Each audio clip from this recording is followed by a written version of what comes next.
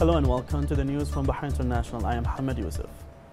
Deputy Prime Minister Sheikh Mohammed bin Mubarak Al Khalifa bade farewell today to His Royal Highness Prince Al Hassan bin Talal and his son Prince Rashid bin Al Hassan after concluding a visit to the Kingdom of Bahrain, during which he met with His Majesty King Hamad bin Isa Al Khalifa.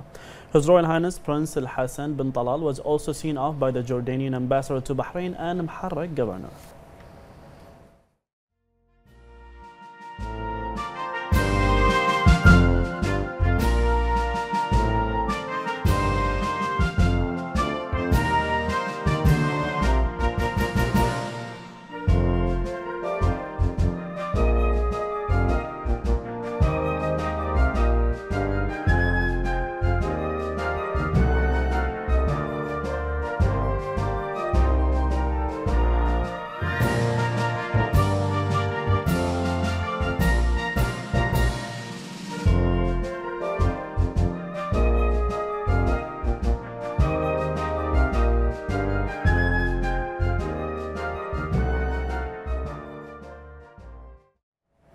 His Highness Sheikh Mohammed bin Salman bin Hamad Al Khalifa inaugurated today the 2019 Gulf Summit for Children and Youth organized by Future Masters.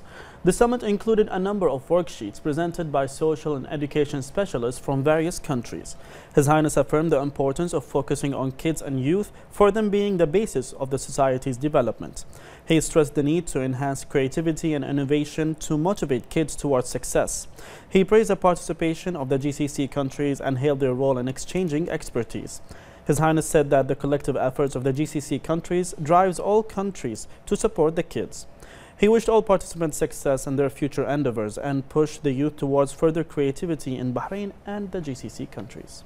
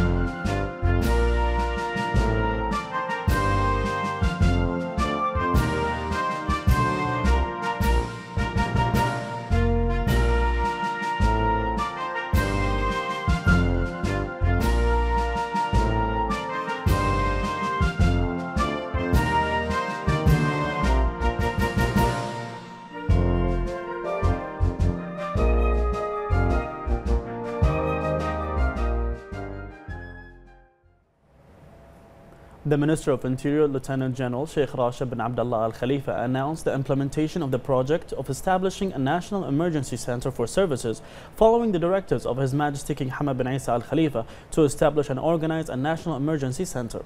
The move also takes place in tandem with the directives of His Royal Highness the Crown Prince, Deputy Supreme Commander and First Deputy Prime Minister Prince Salman bin Hamad Al Khalifa. Establishing the center will ensure the ministry's control of emergency services and to improve their responsiveness and readiness. The project will begin with the Muharraq and Southern Governorates, with the capital and Northern Governorates to follow next year, by which the number of emergency centers will be from 3 to 13 across the kingdom. The centers will be provided with the latest emergency vehicles, equipment, and highly qualified staff and will perform according to world-class means of communication and geographical organization. The minister said that the project involves the coordination between the directorates of the National Emergency Center, emergency centers at the Salmania, BDF and King Hamad hospitals and reflects the government's efforts to improve the quality of services provided to citizens.